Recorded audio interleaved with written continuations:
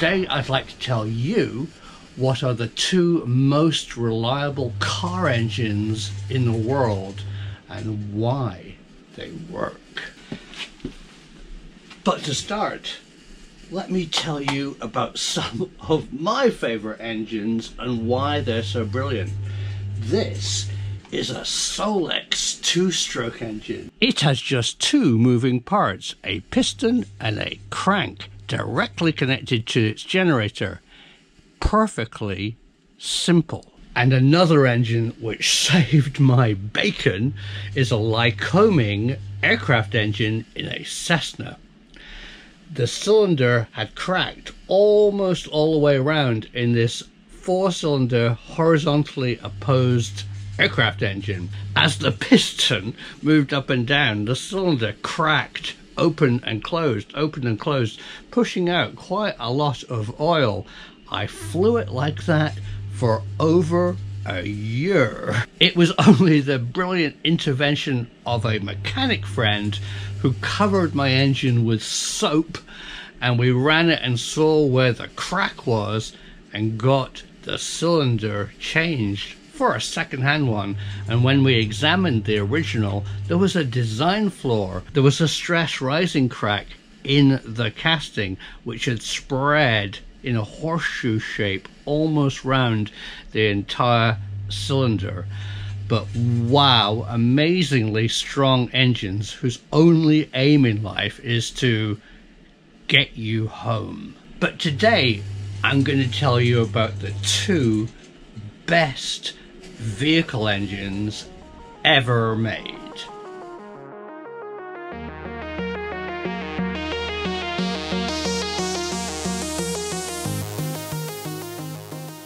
So what car engines are nearly indestructible?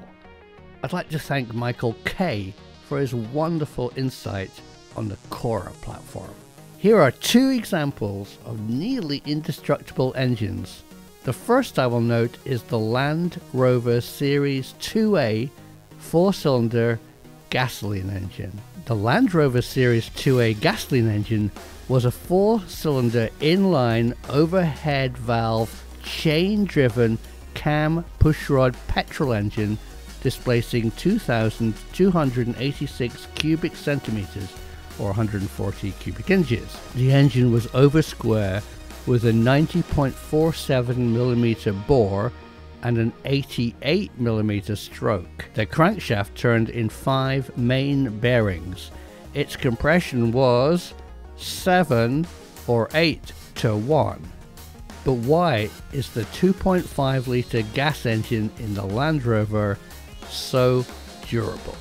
Well, to understand that, you have to look at another Land Rover engine, their 2.5 diesel.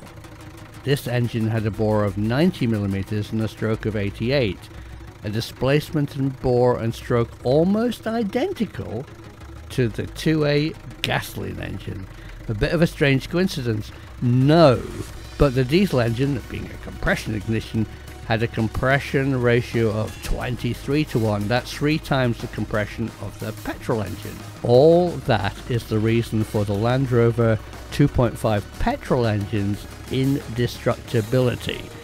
For the petrol engine was built of the same machine line as the diesel and shared much of its architecture, features, and dimensions, but was significantly understressed compared to the diesel variant. The low compression allowed the petrol engine to run without pre-ignition on marginal gasoline that was available in some of the colonial backwaters where the Land Rover was sold.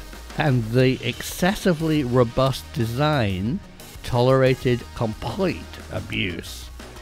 In an advertising British Leyland which built the Land Rover at the time, noted that one Land Rover in some backwater where normal lubricants were not available actually was driven 700 miles using bananas as a lubricant. I have visions of driving a Land Rover across the Punjab, surrounded by clouds of warm banana fumes wafting from the crankcase.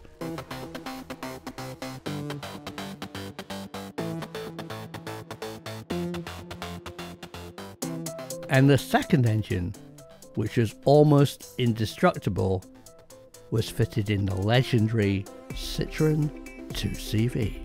The Citroën 2CV engine was a two cylinder opposed air cooled twin offering a displacement from 375 to 602 cubic centimeters and producing between 9 to 29 horsepower. It powered this quirky bit of French automotive elegance. This is a Citroën 2CV Sahara variant, which had, and I'm not kidding you, two independent but simultaneously controlled two cylinder engines and transmissions a twin or a four. It was a bi twin. It was fantastic. The Citroën 2CV air cooled flat twin was legendary. But why? Well, the 2CV twin was designed from the crankcase up for durability and minimal maintenance. Designed around the mantra that if it's not there, it can't break. Of course, being air cooled, it lacked a radiator, or a water thermostat, or radiator hoses, or a fan belt. The cooling fan was directly driven off the crankshaft. On the original models, the generator was also off the crank and powered the fan. There was absolutely no accessories and nothing to break. But the concept of designing to eliminate problem prone parts went further on than that. In the 1960s, the biggest failure of car engines was the head gasket. And it's still a problem today. So the 2CV engine solved this by eliminating the cylinder head gasket. On the 2CV, the cylinder barrels and heads were precision machined and lapped to fit with a gas tight seal without the need for gaskets. And you don't have distributor problems on the 2CV.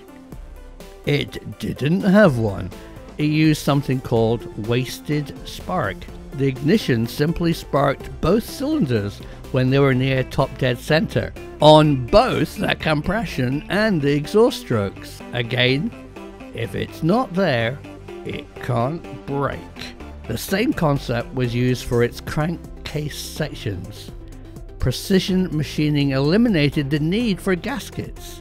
In some ways, this minimalistic concept was taken to absurd extremes. The Citroën 2CV windshield wipers would stop when you idled because they were directly connected to the same flexible shaft that drove the speedometer.